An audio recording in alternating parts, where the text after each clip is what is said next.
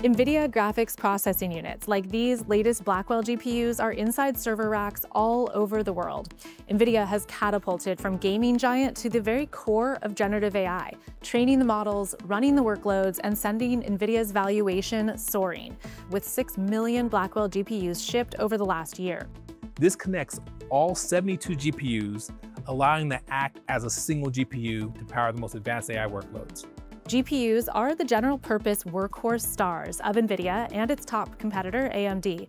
But another big category of AI chip is gaining ground, the custom ASIC, application-specific integrated circuit, now being designed by all the major hyperscalers, Google, Amazon, Meta, Microsoft, OpenAI alongside Broadcom. These AI chips are smaller, cheaper, accessible, and as the name suggests, specifically built for one purpose. But we see that growing even faster than the GPU market over the next few years.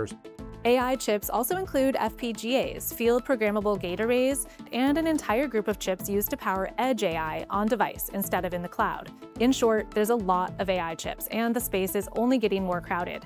We recently sat down with experts to break it all down, the various categories of AI chips, what's different, good and bad about them each, and a brief look at all the major companies getting in on the AI chip making trend. Check out the link in bio for the full story.